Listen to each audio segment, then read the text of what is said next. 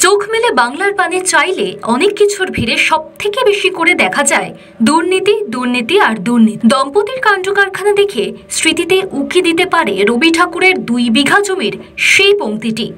এই জগতে হায়, সেই বেশি চায়, আছে যার ভুরি ভুরি। রাজার হস্ত করে সমস্ত কাঙালের ধনচুরি। তবে এক্ষেত্রে গল্পটা উলট পুরাণ। সচ্ছল দম্পতি কারোর কিছু চুরি করে নেননি। বরং সরকারি আবাস যোজনার বাড়ি ফিরিয়ে দিতে হাজির হয়েছিলেন ব্লক অফিসে। বিডিওর সঙ্গে দেখা করে লিখিতভাবে তারা জানালেন, যে সময় বাড়ির আবেদন করা হয়েছিল তখন তারা আর্থিকভাবে দুর্বল থাকলেও এখন সচ্ছল। তাই তাদের পরিবর্তে ওই ঘর অন্য কোনো অসহায় ব্যক্তিকে দেওয়া হোক। কোচবিহারের মাথাভাঙা এক নম্বর ব্লকের ঘটনা। আবাস যোজনার প্রাপক তালিকায় নাম এসেছিল হাজরাহাট এক নম্বর গ্রাম পঞ্চায়েতের রোহিণী বিবি ওরফে রাহিলা বিবির।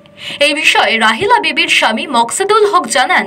গতকালকে যখন আমি লিস্টে দেখলাম যে আমার মিসেসের নাম লিস্টে তখন আমি আমার মিসেসকে বললাম যে আমাদের লিস্টে নাম আছে। মিসেস বলল যে আমাদের থেকে তো অনেক গরিব মানুষ আছে। হ্যাঁ আমরা এই ঘর নিব না। আমাদের থেকে যারা গরিব মানুষ আছে তারা এই ঘর নেবে তাদেরকে দেওয়া হোক। হ্যাঁ এরপর সঙ্গে যোগাযোগ করে সাহেবের হাতে লিখিত আকারে মধ্যে আজকে আমাদের কাছে রোহিণী বিবি, ওরফে রাহিলা বিবি, যার স্বামী হচ্ছেন মকসেদুল হক, তিনি হাজরহাট ওয়ান গ্রাম পঞ্চায়েতের অধিবাসী। তিনি এসে আজকে আমাদের কাছে অ্যাপ্লিকেশন করলেন যে তিনি আর্থিকভাবে সচ্ছল, তিনি নিজের ঘর নিজে তৈরি করতে পারবেন, সরকারি সাহায্য ছাড়াই। তাই তিনি তার নামটি যেন এই যে আবাস প্লাসের যে যারা বেনিফিশিয়ারি আছে, সেই তালিকা থেকে যেন বাদ যায়। সেই মর্মে একটি আবেদনপত্র জমা দিতে। আমরা মাথাভাঙ্গা ওয়ান ব্লকে আগেও এরকম পেয়েছি। আমরা আবেদন করছি আরও। মাথাভাঙ্গা ওয়ান ব্লকের সকল সচ্ছল ব্যক্তিদের কাছে যদি তাদের নাম থেকে থাকে, তাহলে ওনারাই এসে যেন আমাদের কাছে এরকম আবেদন করেন, যেন আমরা নামটা বাদ দিতে পারি। আমরা সরকারিভাবে বাদ দিলাম, আর ওনারা নিজেরা এসে বাদ, নিজেরাই নিজের নামটা বাদ দেওয়ার জন্য বলছেন। এটা সমাজের পক্ষে একটা ইতিবাচক বার্তা যাবে, যেটা আজকে রোহিণী বিপি দিলেন, আগের দিনে আমাদের ইস্তারা পারভিন দিয়েছিলেন।